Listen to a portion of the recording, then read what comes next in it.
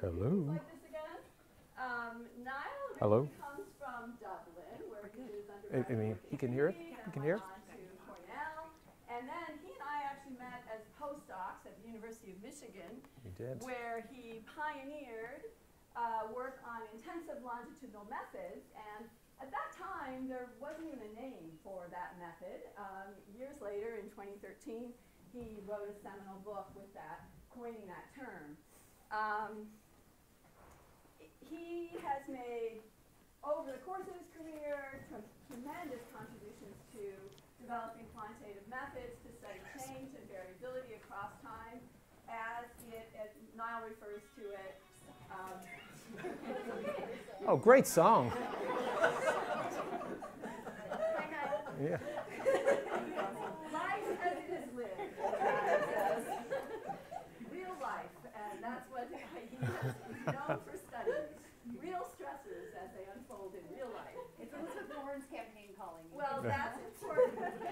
so, okay, so in honor of these many contributions, Niall is in a couple of weeks, right?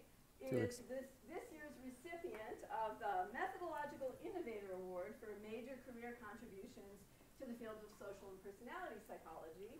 And as SPSP has pointed out, making the award, quote, Niall has inspired many researchers to incorporate multi-level modeling, be included, into their research and has most broadly encouraged the field to use statistical and methodological tools to think more theoretically about within-person change. Um, his methods have been widely adopted, study uh, health psychology, social personality, close relationships, stress, happiness, emotional well-being, and health. And I just want to say, in addition to this work you're getting an award for, in health psychology and in relationship science, he's equally well known um, for his really brilliant work on um, close relationships in health, uh, developing work on invisible support, theory there, and really important research, as well as understanding the role of personality in physiological and emotional responses to stress. And his most recent work, which he's going to tell us about today, challenges us to uh, try to understand the range of reactions that people have to causal mani- manipulation in experimental work. And so join me in welcoming him.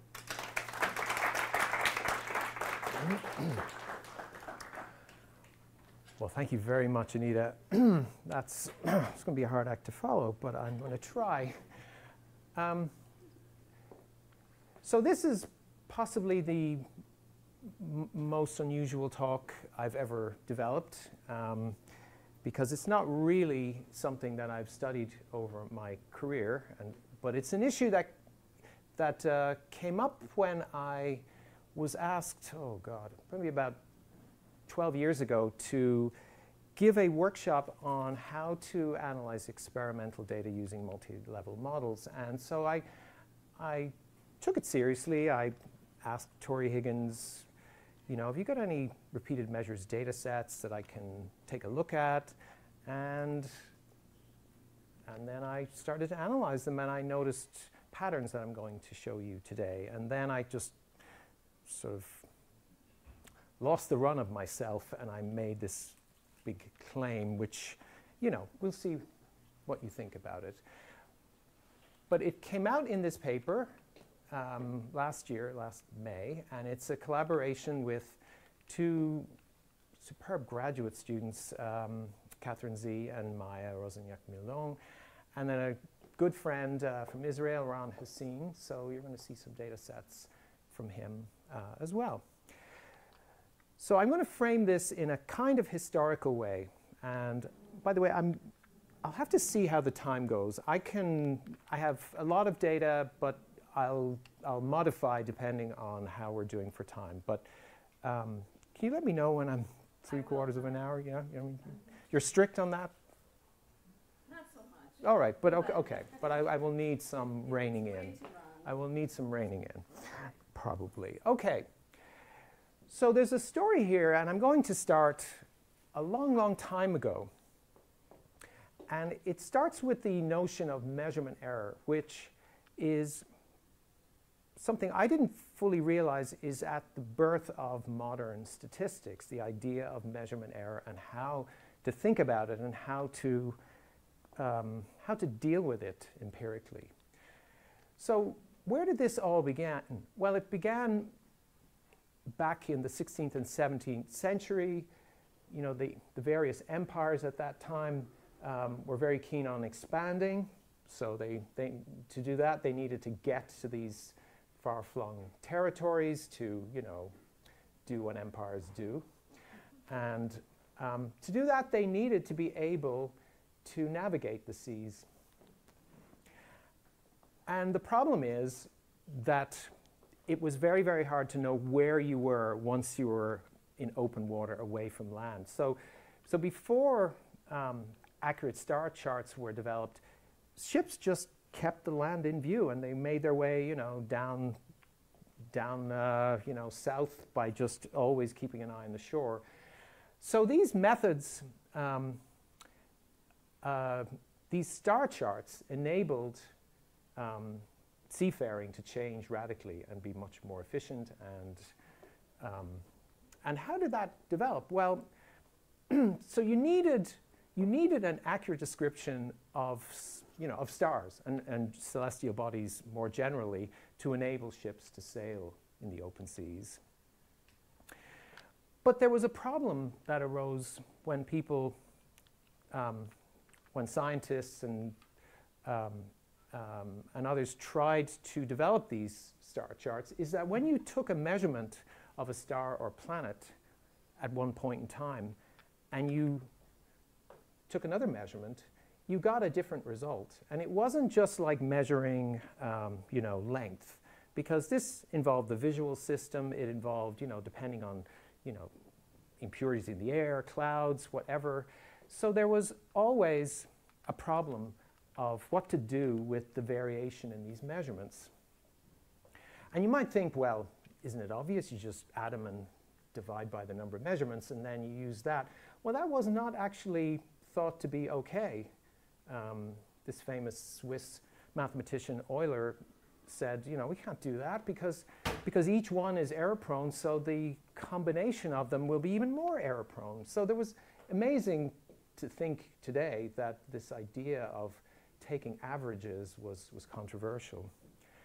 But people were doing it anyway, and, and it led to this idea that these measurements come from a probability distribution. And it's leading to something called an error curve.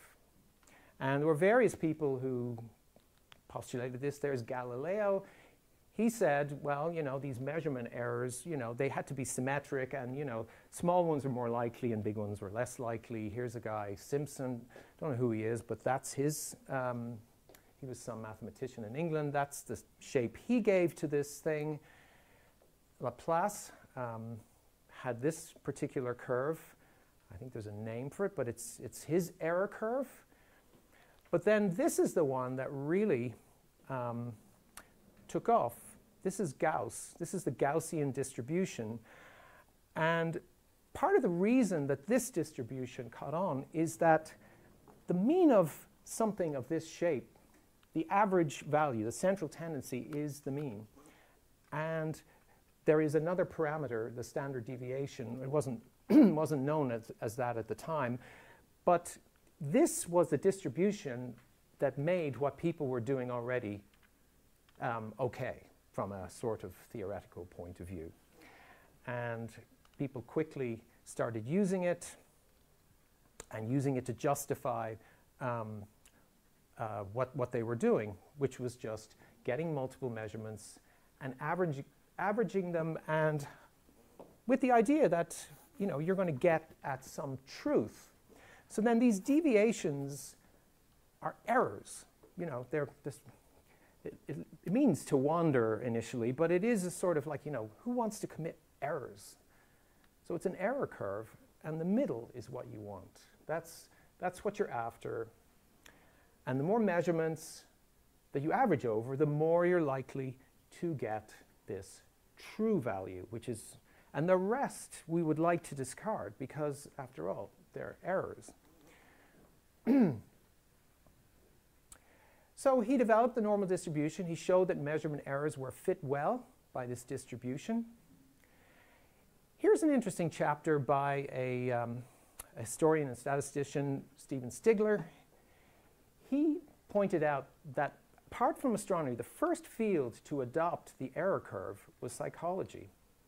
And I hadn't really known this. So, so the, you know, many other fields eventually adopted it um, as, a, as a way of dealing with the fact that measurements you know, would vary from one time to the next. And from one person to the next, that's a whole other story because people were, were systematically different in the, in the errors that they made, but they still clustered around some average. So he, he points out that in elements of psychophysics, which was what? Um, I'm forgetting what date this is, but it's around 1860. Um, it was used immediately to describe measurements of, of um, you know, perceptual processes and, and it, it remained in psychology ever since. And many other fields like, let's say, economics took way longer to recognize its usefulness. Okay, so here's where the argument I'm going to make really begins. This idea of a curve of errors was adopted by people ar around sometime in the early 19th century. Lots of, we would call them, they would call them large data sets became available on measures on populations. So the famous one um, that this man, Adolphe Quetelet, used was measurements of the chest circumference of Scottish recruits. And why do they need to um, do this? Why, why would they care? And I think, you know, a moment's thought would lead you to realize that you want to make, you know, proper uniforms for these guys because you don't want to be shooting your own people out in the battlefield. So you do need uniforms. And to make uniforms, you need to know what the typical sizes are. Now, I think this guy looks very dashing. It looks like he's got gel in his hair and everything. But this is a Belgian astronomer, Adolphe Quetelet. This is him when he was, when he was young. Um, he noticed that measures of, of population characteristics, or measures of all kinds of what might be called anthropometric um, things like height, weight, um, all had this curve. But what he was really taken by was a sort of error curve thinking. He talked about there being this best representation of any population, what he called the average man. And he was dead serious about this. So that the sort of the, the, the most the best, well, he used the word best, representation was this middle. And then these people at, you know, toward the edges were, you know, kind of errors of a sort. So he wrote this book, A Treatise on Man, in uh, French. He was a French-speaking Belgian. And this was 1835. And here's a quote if any individual possessed all the qualities of the average man, he would represent all that is great, good, and beautiful. So you can see he's really, this average is, it's, it's, it's, think, it's error curve thinking. And, you know, we might also call it it's just reification of this, this uh, somehow this ideal person and that nature is striving to that, but is making you know errors, and so the variation on either side is is um, well, it's not great, good, or beautiful. Okay. this is not like any talk I've ever given before, because I usually get to data pretty quickly, and we're not we're nowhere near the data yet. so that's just telling you. Okay, I'm going to get the, yes, okay, yeah. Well, I'll stop when I need to stop. Okay. yes, there's a yes. I mean, plus or minus, whatever. But here's here's Darwin entering the picture, and his thinking about population variation was really different, so different because you. I mean, I'm not sure he used these terms, but he certainly didn't think of variability as error. He thought of it as the foundation of natural selection. Without this variability, populations couldn't change. And so processes of um, heterogeneous populations uh, on many dimensions, but you know, we, we often think of it as genetic variation, but there's other ways to think about it. Um, but there's phenotypes in populations that look really, really different and as environmental conditions change or as there's competition or whatever, certain characteristics are favored. So, not error, but, but crucial um, in, in biological processes. So here's, if Galton, if, so we think of, of, um, of the Gaussian curve, well, you know, this is an idealization of what we would call the bivariate normal. So you take two, so if one measurement of a measurement of one characteristic has a normal distribution, you measure two on the same population and you tend to see this um, bivariate normal which has all these different shapes. You know, it can be just a cloud, but it can end up being more cigar-like. But the idea is that we have variation in populations, and we have it in a bivariate and a multivariate sense. So this idea of variation and covariation as essential in biological and you could say social processes was called um, by Ernst Mayr, who's a philosopher of biology, as population thinking. And the idea is that once you get up to biology and above, no two units are the same. I mean, no two cells are the same, no two um, organs are the same, and obviously no two people, no two groups.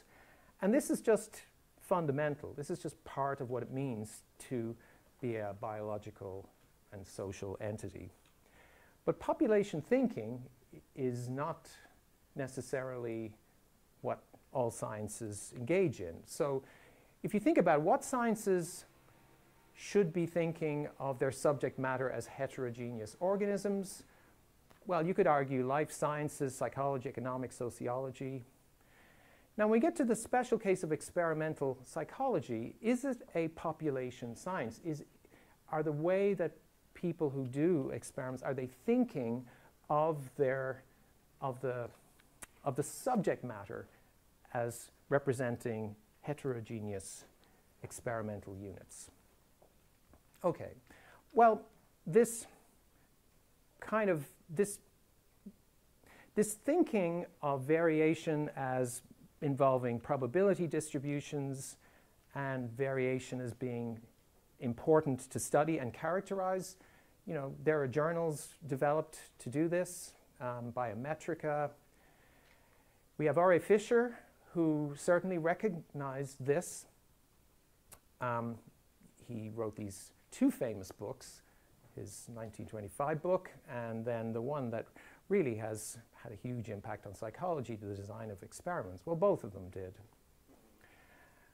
Okay, so what is it that Fisher did to deal with this heterogeneity? And what is it that we have taken from Fisher? Well, he certainly was very, very interested in heterogeneity of all sorts. Um, but I want us to focus on his experimental designs. So unfortunately, I've got a lot of text here. So he definitely recognizes that there's heterogeneity in experimental units. But if I think of the tradition that we have adopted in experimental psychology, which is kind of a repeated measures kind of tradition, we can think of what he, his thinking is that we allow for heterogeneity, but we make our comparisons within as homogeneous a unit as possible. So you could call that blocking and experimental design. But he invented repeated measures ANOVA. That was the first ANOVA he talks about in his 1925 book. And that is, so people are different, the units you're studying are different, but what if you make the experiments about those people in different, in different um, conditions? So he had, he recognized that there were three sources of variability. And I'm, I will get, I mean, we, we can talk about these. There's the treatment conditions. So you want them to be as uniform as possible so that the differences can be um, interpreted properly. So you want those to be held, you want those to be uniform. The experimental units are going to be different. And then there's measurement error, which is always present um, in when you get to biological and social measures. He never mentioned causal heterogeneity, um, but he allowed for it. So if you, anytime you do repeated measures ANOVA, you allow for heterogeneity of responses to treatments, if, you're, if that's the kind of data you have. But it's hidden from you. And if you look at texts on experimental design and, and statistical analysis, some of them will say that you can, uh, you can estimate the size of the heterogeneity by doing various calculations on the results of repeated measures ANOVA. But in general, it's not recognized. Because what's happened is you, you are now comparing people to themselves in different conditions. And the idea that they might be different in their responses kind of has been left um, unaddressed a lot. This is this next point is just one that you know helped me sort of recognize this idea, and it's it's something you may some of you may not have any have never heard of this. It's Don Rubin's idea of causation, which is fundamentally a within unit comparison, so it fits with what we've been talking about. A causal effect, this delta I, is going to be an individual's, or whatever the unit is, their response in one condition minus their response in another condition. But in his framework, it, they have to be, in a sense, ident- happening at the same time, which is not possible. So it's, so it's like nothing else can be. It, it's count, this fancy word, it's counterfactual. He, he doesn't believe you can you can estimate this. But he starts with the assumption that effects are heterogeneous. Because everybody, so I represents person here, so every, you know, I equals 1 has their own delta, 2, 3, everybody's different.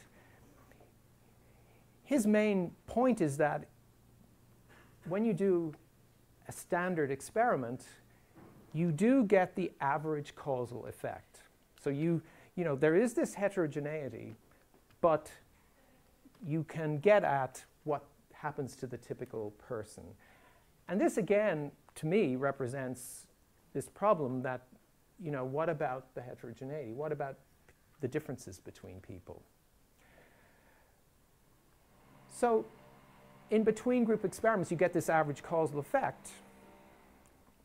But I want to argue that in repeated measures designs of the sort that are often done in cognitive and social cognition and other areas of psychology, you can, in a sense, get individual causal effects, or something you can argue as individual causal effects. So, why? Well, there's a lot of assumptions you have to make, as always, with statistical ideas and ideas of cause. You have to believe that the stimuli within each condition, so you need multiple trials. So, we're now we have to think about this in a repeated measures kind of context. But you need to think of stimuli as being interchangeable within conditions. I'll, I'll get to details, in, I mean, I, we'll get to data very soon now. That these stimuli, I mean, they, ideally we want to assume that, that they don't that people don't respond differently to the stimuli. They can respond differently to the conditions, but we, but we, we generally can't estimate this interaction if it's there. Order effects are negligible and carryover effects are negligible. Okay, finally, where, where am I? Where, where am I on time? It's almost one, so you've got 20 minutes. Okay, I can do it. Okay, so here's a data. Here's the data set that I got from Tori Higgins. This, is Abby Scholer, who's uh, um, a faculty member at um, um, Waterloo. Now, here is a really simple experiment where we're looking at reaction time, and we're taking the log here. But the question that she was interested in is if we show people positive and negative adjectives, and they get them one by one, and they have to decide whether these describe them or not. And so they say does or doesn't. So then we have this valence. So we have a whole bunch of negative and a whole bunch of positive stimuli. And here's some data insecure, thrifty, clumsy, enthusiastic, orderly, stubborn, worrying, cynical. And no big surprise. People are faster, so one is the positive, minus one is the negative. They're faster when to say that positive traits describe them. Okay, that's all I came to show you. Sorry. Hopefully, yeah, okay, but, but not really. But if you did do this, and you did a repeated measures ANOVA, you'd say participants were slower to respond to negative compared to positive self-relevant traits. The mean difference was this many log RT units, and here's a confidence interval. Whoops. And there's the test. And then in milliseconds, this is around 200 milliseconds faster for positive. That's the write-up. Well, there's more you can do with these data than use repeated measures ANOVA. So I'm going to just show you, and this may be old hat to some of you, but multi-level or mixed effects regression models allow you to do more. They give the same results as repeated measures ANOVA if the data are all, you know, there's no missing data and things like that. So these are what they call. They give the same results, but they make it feasible to examine heterogeneity. So here is the raw data for each participant. It's a small data set. And I'm going to quickly move on to show you. So you can see that, well, there's, there's an unbalance, like a balance here, so people are more likely to choose positive, but they're faster in most cases. So in these models, fixed effects are the average. So this is going to be this average man, average woman. But the random effect is the, so that's the mean. This is going to be a standard deviation, how much people differ. I won't go into, but you can do this in SPSS, you can do it in R, you can do it in any major software.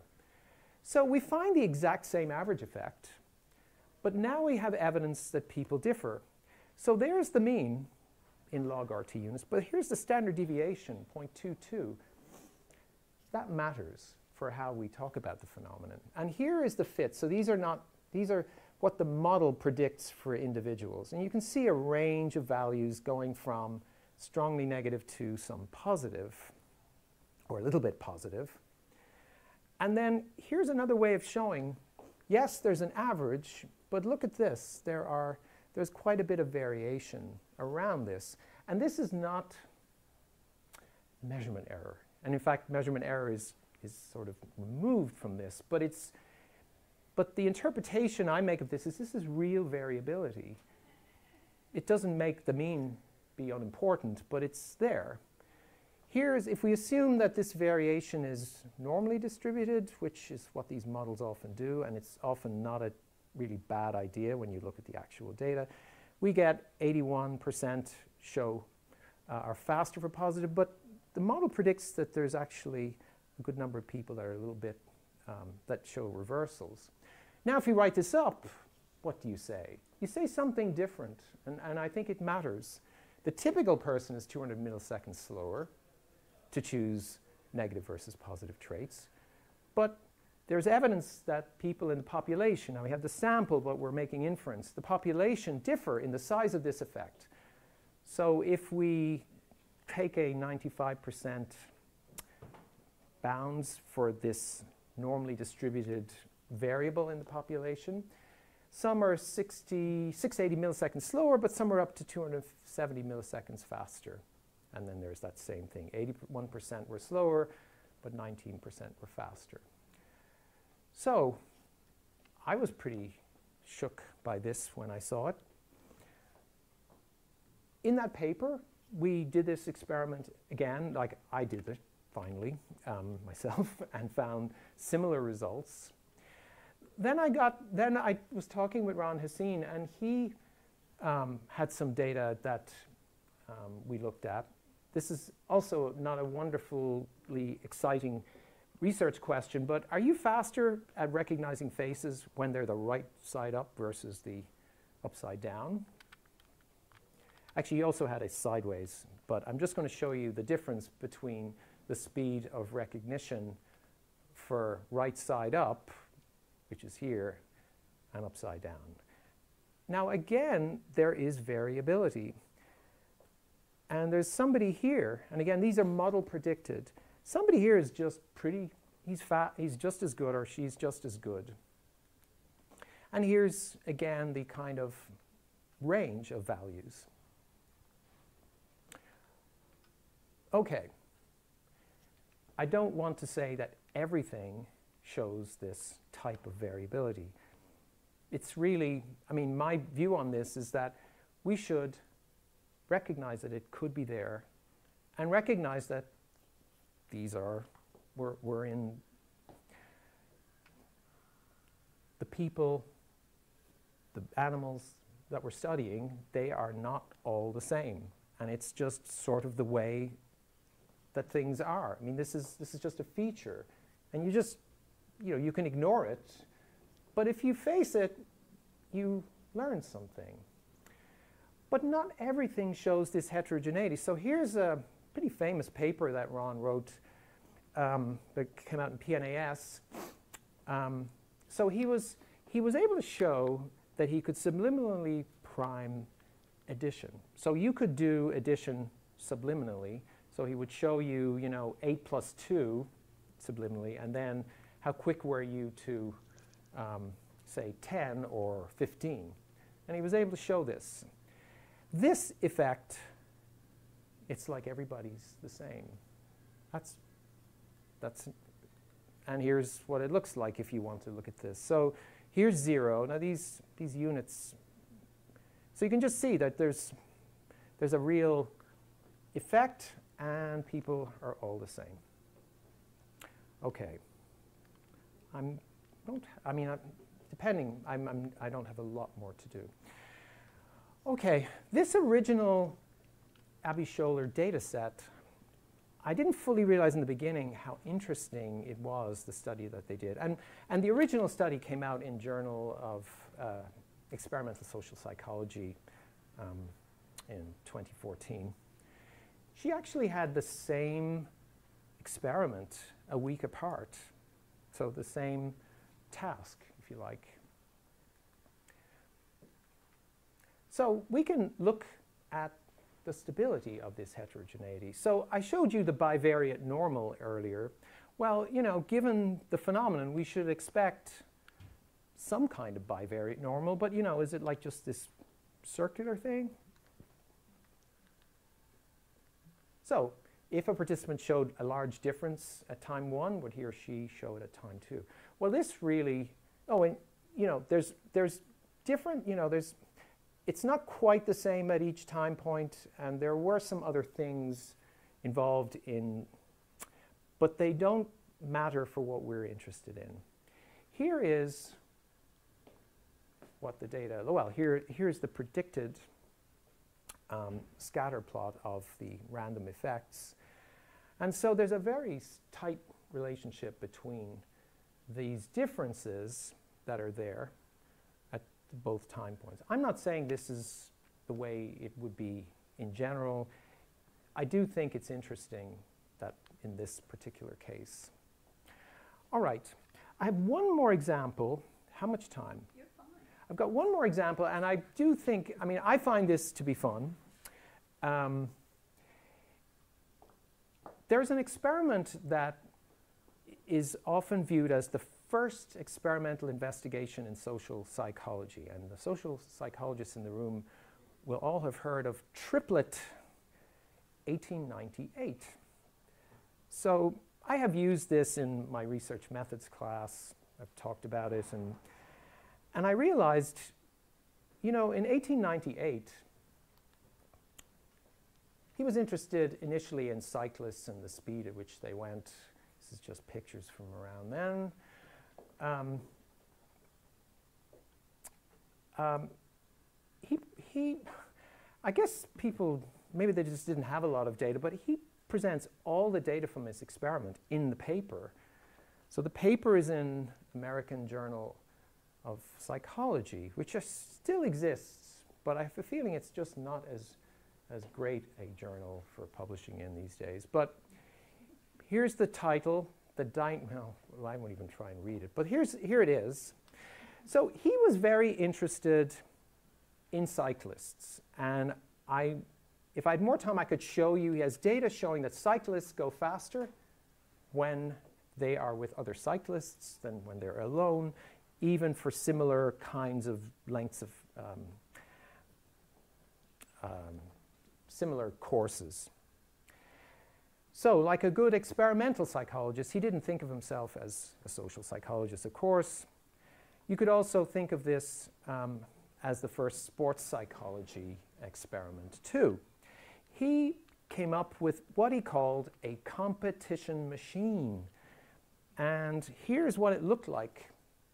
These are fishing reels, and there's two people only one is getting measured, but you see this?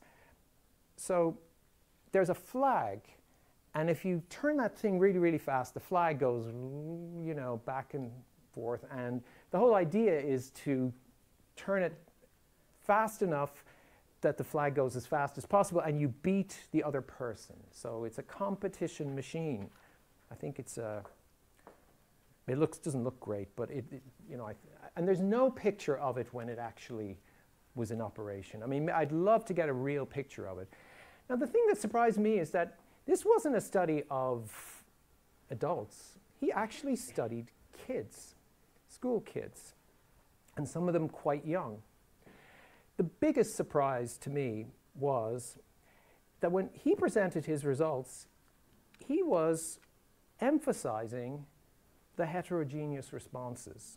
Now, this never got into the social psychology summaries. So I think um, Floyd Allport wrote a text in 1925. He is the person who first really mentions this study. And you'd never get the sense, now I'm going to show you all the data. He created three tables. Now, there was a whole bunch of kids. I know you can't read the names here, but there's Violet, Anna, Willie, Bessie. Now, these are 10, 9, 11, 12. There's great names uh, Clyde, Lucille, Bertha, you know. So these were the kids that were positively affected. There were six conditions alone or in competition. And they, which is where I'm going with this, we actually have repeated um, trials in the different conditions. So he made three tables. These were the ones that got faster when they were with others, and they were the majority. But here's people who got slower, and these people in the middle had no effect. There's 40 kids. There's some as old as 17, but some as young as, as uh, 9. Okay, so here's, he certainly didn't show the results this way, but here's what, here's what the data look like. And these are the raw data now of the differences. And this is, uh, I'm forgetting what this, this um, uh, what these units mean, but, but the average kid was faster with peers. And then here's no difference. So you can see, you can see why you know you might want to say, all right, they're faster. And well, if you analyze these data the same way I've been talking about before, look what happens. You get a very, very different distribution, and it's not the one that he was emphasizing.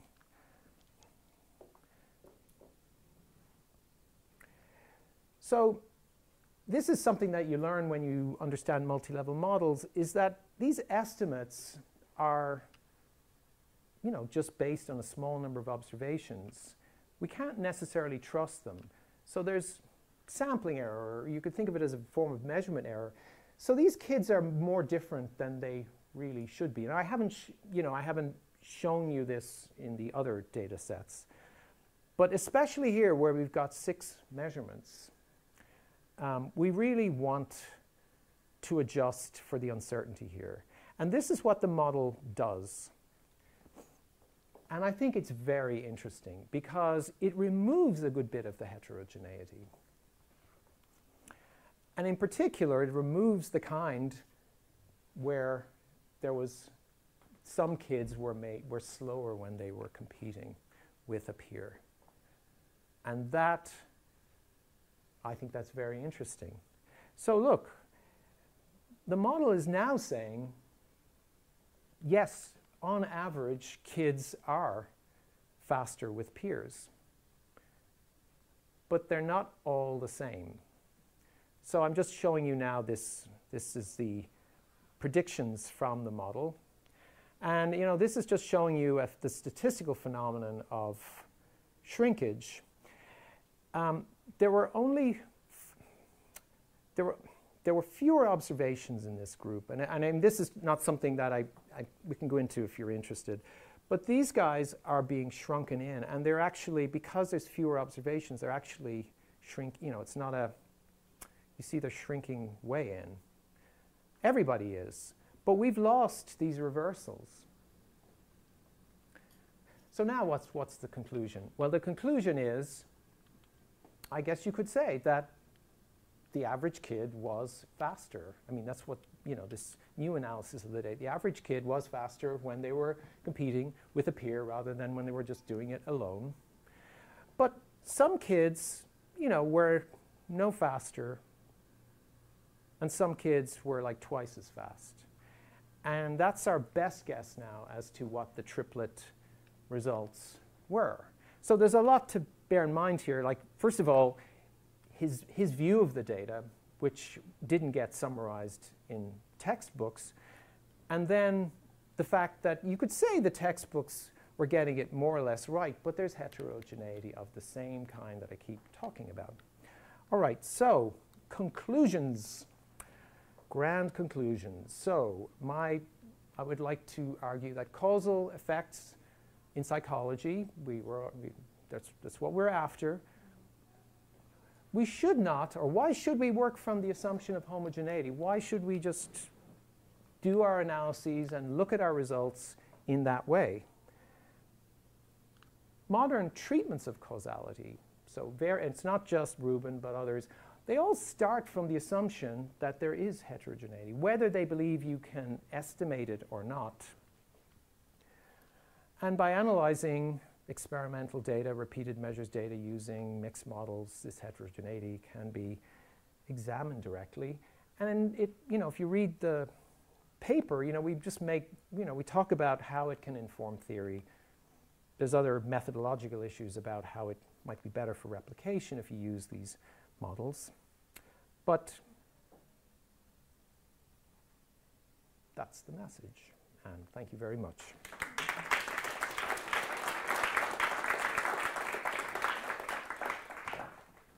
Perfect time. Is that good timing? Okay, great, right. So we have time for, uh, for questions, so any questions? Yes. Um, so, Did I just turn off? Hold on. I'm sorry, just, just in case you want to look back at uh, that's super interesting, thank you. I'm curious about, um, so like the, uh, the more homogeneous one you showed, the face perception effect. Well, that was that was still heterogeneous. It was actually this subliminal addition uh, Right, one. oh, yeah, that yeah, one. that Um, one. Right, it could also just be like those are smaller standard errors compared to the bigger ones, so I'm curious, like if there's if you have a heuristic in mind or anything at point where you think the heterogeneity might become more meaningful, Right. It's an excellent. Yeah, it's an excellent question. I would like to get this thing back. Not sure what happened, Yeah, I'm not good with these things, so I'm trying. But I do have an answer to that. So we did struggle with that in the paper. if you, if the standard deviation um, is half the size of the mean, then if, you're, if it's a normally distributed variable, then you're going to find that that range, that standard deviation, will mean that the mean of you, that people at the sort of lower end will be essentially showing no effect, and people at the higher end will be showing twice the average effect. I mean, that's so that you definitely, and I'm, I've shown you that multiple times, but I don't think that's, I mean, you know, it's what's what cutoff? I mean, this is the problem with cutoffs. What what would you use? We suggested that if the standard deviation was a, quarter of the mean, that it's probably worth talking about this result. Because if that's the case, then there are some people that are half, you know, if, if you go two, two standard deviations down, you've got the lower, people at the lower end are showing half the, half the size of the average effect. Thank you. I just bumped against it. And others are showing 50% more. And that, I mean, if I were talking about a phenomenon and it had that kind of variability, I think I'd want to know. But um, should I take it, pull it out and plug No, it in? Good. It's honestly, this is, it'll, it, it does this all the time. It does. Well, I, take- it'll take a I just backed into it. So, yeah. So that's so that was our rule of thumb. I mean, we have it in the paper, but I could see other ones, and and that's not based on a statistical test. That's a kind of descriptive measure. But there are there are obviously ways you could do tests, because and that's a separate issue. You know, so if it is, you know, a quarter of the fixed effect, how confident can we be that that's what it is? But I'm leaving that aside. Okay. Any, any, other? Yes. Um, yeah, thank you for the talk, very interesting. Um, I just have a question, it's kind of just like one bullet point on one slide, but, um, Yeah. Probably. when you were talking about kind of the idea of assuming that, like in a condition where you have, um, people looking at the same stimuli. Yeah. And talking about how the persons and stimuli are assumed to not interact. Yeah. Well, I mean, you can't. I mean, so they're crossed random effects in you know in the technical sense, and I mean it makes sense that they could interact, but you generally can't estimate it. Yeah, I guess I was, um, well, for one, just gonna ask, like, were, like in those experiments, were they treated as a cross random effect? Yes. Yeah, I mean, I didn't. Yeah, so so I mean, there's a whole other thing we could do here, which is we we treat persons and stimuli as um, as random effects, and that's the correct way. And if you go to the voluminous online, um, you know, supplemental materials, you'll see you'll see all those models, and you'll see them in frequentist and and Bayesian estimation, and they you know they don't they don't differ very much. But yes, so these, this all is unaffected essentially when you go to. I mean, I didn't show you that complicated model, but that, but we have all those sort of. So, so the code I was showing you there for R and all the rest, it didn't have random stimuli, but, but we, but we do those models. I was trying to keep it simple. So, so you think of the persons as sampled from a population, but you think of the stimuli as also sampled. So we could have had other positive stimuli than the ones we actually used and other negative ones. So, so ideally in the repeated measures ANOVA, and I mean this is not a new point. Anybody who's methodologists in the room know that this was, this point was made by someone, Herb Clark at Stanford a long time ago that we should be treating the stimuli as random and we should and, and so there's uncertainty from that. But yes i didn't that is the that's the sort of you could call it the more full or proper way and it's in the supplemental materials. There's a lot of supplemental materials. If anyone's really interested you can see more than you want. Yes? I'm curious how many um, within subjects conditions do you think is the minimum for this kind of analysis? Like if you just have two within subjects conditions as opposed to repeating each of them Yeah. times, do you you think that's, that variation is meaningful? Oh, yeah, well, I mean, you're going to have, you know, in, in estimating random effects, pe- you know, are people different? Well, you're going to need, you know, you, well, you need more than, you know, one observation in one condition and one observation in another to even get off the ground at all. And that's, the, and that's what's good about, you know, the typical repeated measures design um, that you get in cognitive and social cognition because you know there's usually 20 40 or more stimuli in each condition and there may be multiple conditions but i mean but if you want to sort of be precise about it i mean you can do a power analysis and see and you will have far less power so so in the Triplett data i mean i think it's was pushing it there were three there were three the kids were seen three times in the alone and three times in the competition. And so um, now that would mean that the, the estimates would be, you know, in a sense, more full of sampling error or whatever, and they shrink more. But, but the models, you know, we still were pretty confident that there was heterogeneity. So if I were designing experiments, I would certainly be. I mean, you can you can you can you can do power analyses and see what's you know what power have you to detect a random effect if it's there. I guess I'm, part of the reason I'm wondering is because l- like we, we do a lot of studies that are, or, you know, we as a field do a lot of studies that are, uh, an experiment moderated by an individual difference. Yep.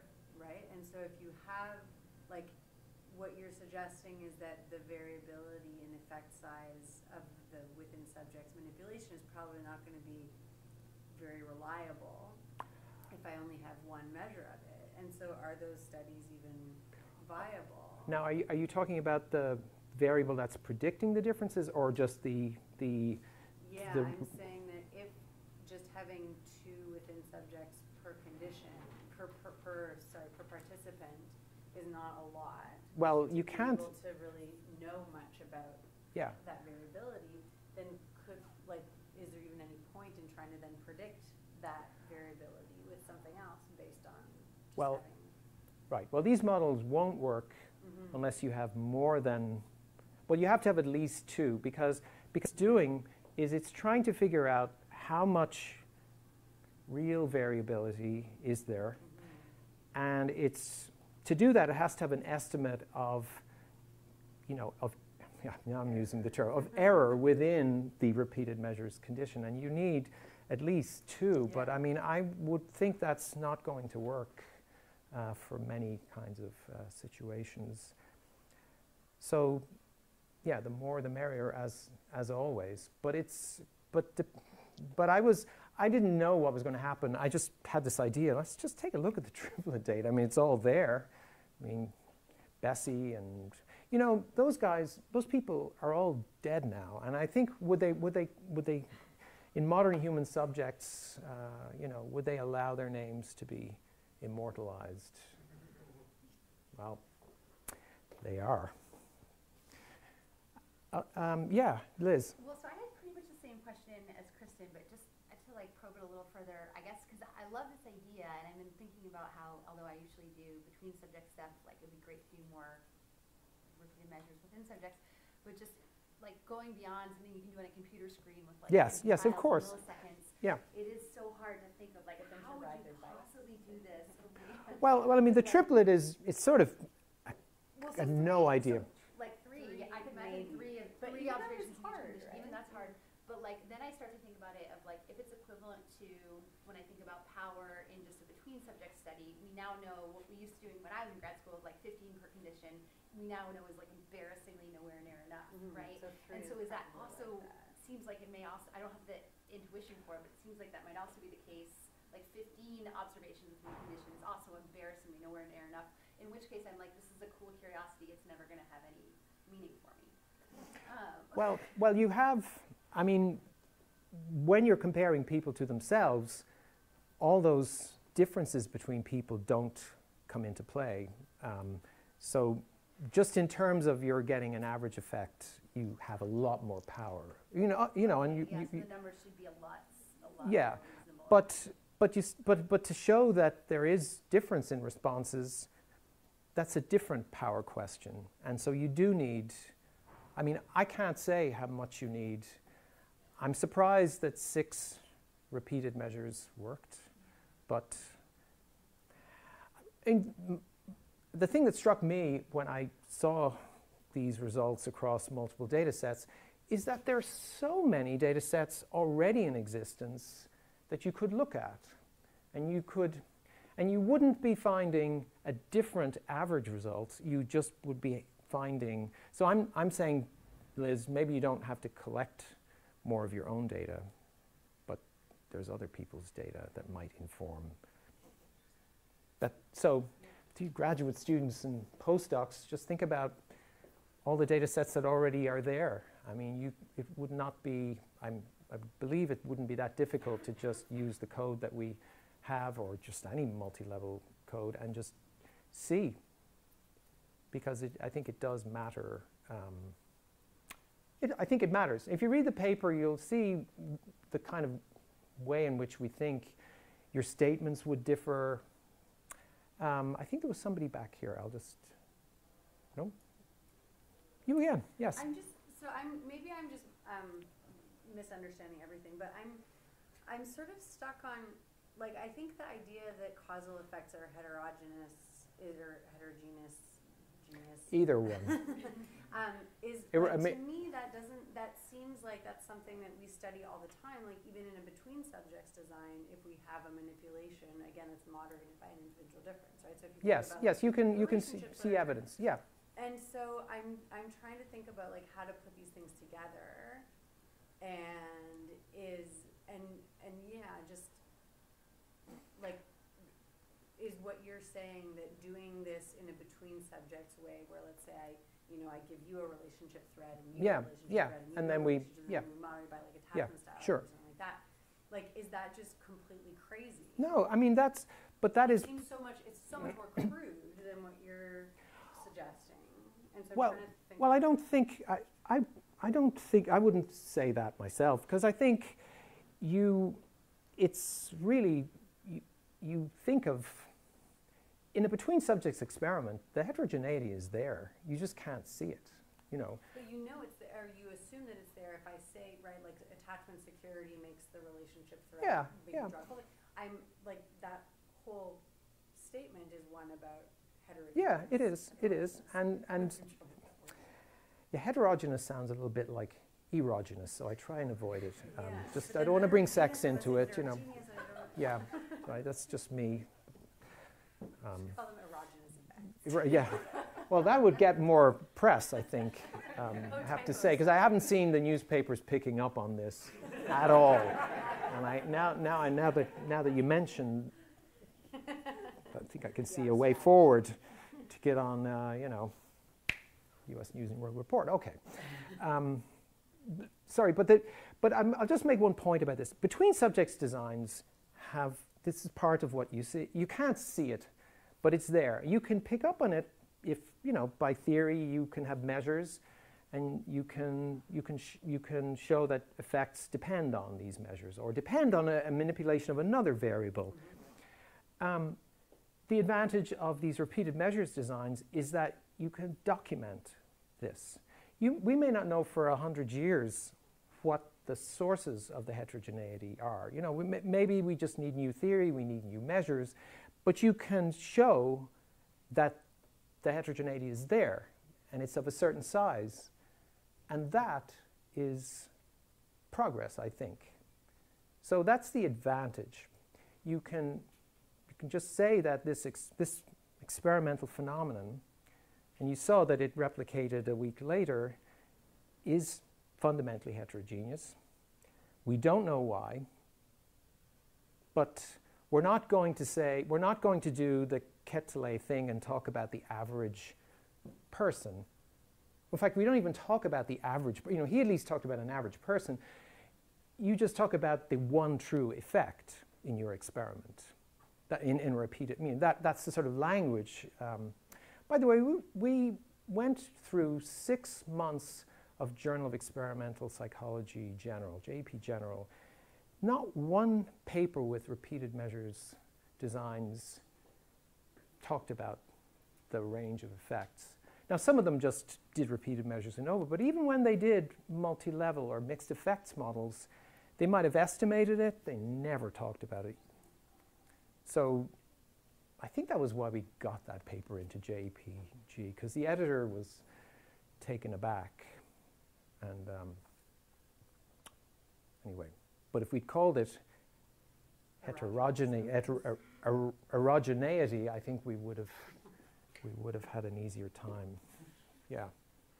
So this might just be my lack Oh. of understanding, but I, oh, Let, let's, let me just take someone, I, there's a guy at the back, and I, I just, I don't want to, you know, the people on the couches are, Yeah, I got an uncomfy back here. Yeah. Village, but You're talking about like using repeated measures designs to actually be able to measure the heterogeneity, but I'm wondering if using a repeated measures design can actually introduce heterogeneity. So to give an example, like Yeah. with repeated measures designs, like it's, it's easier for participants to compare across conditions. So you Sure. might for example, participants who are smarter might be quicker to pick up on what you're doing and show larger effects. So I'm wondering if using or assessing heterogeneity within subject design is actually a representation of how much the effect varies, or if it is actually potentially inflated compared to what some sort of true heterogeneity might be as a result of yeah, I think it's a good point. I, I mean, I think you really do have to consider um, the exact research question. So I think in social psychology, you, you know, a lot of times you would choose a between subjects design because you can't let people know the two, you know, because if they know the two conditions or three conditions, they'll, they'll, they'll change their behavior. So I, I agree that it is, um, that, that that is something you need to take into account. Um, and the one data set, just to maybe just to augment your point, the one data set that didn't show heterogeneity was this subliminal priming data set that I showed you. Um, the, so why, why is that? Why is that the one? So I don't, I don't know, but it's a good, it, is a, it is a good point. Liz, you wanted to come in. You had another question. and uh, if anyone else wants to go. Anyone else at the back? Yes, someone. I think you mentioned one of your assumptions is that um, that there aren't order effects. Yes. Curious, do you ever model that to confirm whether that's the case? Like, so did you do that with Triplett? So you might imagine after people experience both Yes. conditions, maybe that there's a bigger effect there, but then Yeah. after they, they, you know, they go back and forth a couple times. Yeah, yeah, it's a good, it, right. So he, the, the design, if you read his paper, you know, he did have different combinations of conditions. There were, there were different, slightly different orders. Um, and that didn't, when some, somebody has analyzed these data um, maybe about 10 or 15 years ago, they were looking for something like this and they didn't, they didn't find it, but I have not looked specifically at order effects. It just seemed like, you know, they thought he, he had more tests in mind than just what, what we did. Um,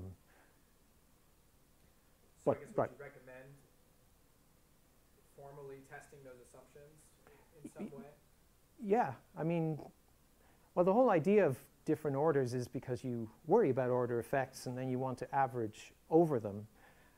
With Triplett, I, you know, I, all, all I know is that he had some idea, you know, he had some comparisons he wanted to make and it didn't seem to matter. But I, I'm really, you know, this is actually not, I, I've only known these results for about six months, so I haven't, I mean, there's more that I should do on that, certainly. You had a question? Yeah, thanks for. Sure. My question is about uh, one of the implications of your argument that heterogeneity, causes heterogeneity is, is, is common in psychology. If that's the case, wouldn't you recommend then that we should aim for representative samples? Because if we have heterogeneous, heterogeneous effects, we don't always know what, what where, where the source of the effect is. So if, every time we sample, due sampling error, we're going to get different effects. Yeah, well, well, right. So we make that point because what this impl- The opposite would be fine. Yes. So the implications of this is that if you don't model it, you're going to have replication failures because, I mean, I haven't gone into this issue, but if you treat everybody as if they're the same, you suddenly get way more statistical power, but it's illusory. So your effects look much stronger because the standard errors around whatever, you know, it- it's not that the estimate of the effect changes, but the uncertainty goes way down because you're, you're, you're acting as if everybody is the same, and they're not. So modeling heterogeneity makes the power, well, it, it, you know, it lowers your power, but it's correct because if you don't do it, then you'll have this effect and you'll have a standard error and you'll think that if I just pick another sample, I'll replicate it. But if they're showing their own heterogeneity, they're going to be further away from it. So, um, so, so replication failures will happen if you don't take this into account. But I want to quickly say that repeated measures ANOVA does take this into account. It's just hidden. So I don't want to make it seem like like there's, there's a, this flaw has, you know, has undermined all of experimental work on using repeated measures designs. It's just oddly enough, when people are using these fancier models, sometimes they will, fit, they will simplify the model to allow everybody to be the same. And that's where the problem comes in. So, yeah, this means if, if people are more different from one another and you want to characterize it accurately, you, you know, it's going to be very hard with a small sample. But I've been showing you pretty small samples, though. You know, there were only 40 people in the Triplett study. There was only 21 in the original Scholar study. So when you've got lots of repeated measurements, you can, um, you know, you can, you can identify this.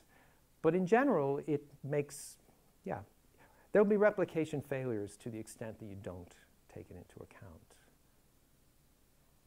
I know, uh, yes?